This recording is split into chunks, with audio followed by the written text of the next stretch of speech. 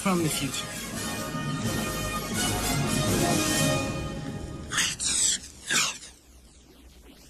So first off, I'd like to apologize that today's video is late. We went to see Birdman last night up in Milwaukee and we got home a little later than I thought we would and I was just kind of tired and didn't want to do uh, today's video at like 9 o'clock at night so I'm putting it up now. Um, better late than never, I guess. So yeah, we went to see Birdman last night in this really old theater in Milwaukee called the Oriental, which was it was cool to watch it there. Um, honestly, Birdman is just as good as everybody has said that it is, and I think it's going to be really difficult at the Oscars to choose a best movie and like a best actor because compared to like The Imitation Game and The Theory of Everything and Grand Budapest Hotel, Birdman stands up just as well, maybe even better.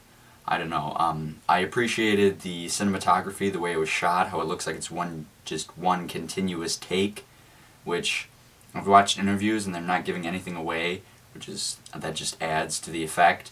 And most of the movie is shot in the theater with the narrow hallways, and we're following the characters. And it was just it's it's really well done. And if you haven't seen the movie, I really recommend you see it.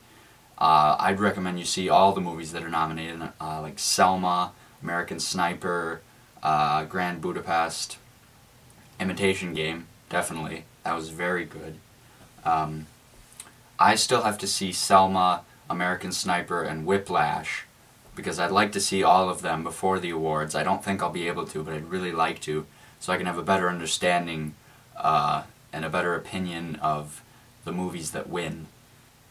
Honestly, I, I've said honestly like three times now, but honestly, I think Michael Keaton might just win for Best Actor because his performance in Birdman was really, really good.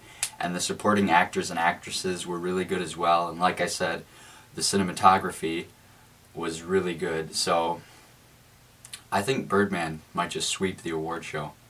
I'm not sure, but I think it might. Kind of hope it does, actually.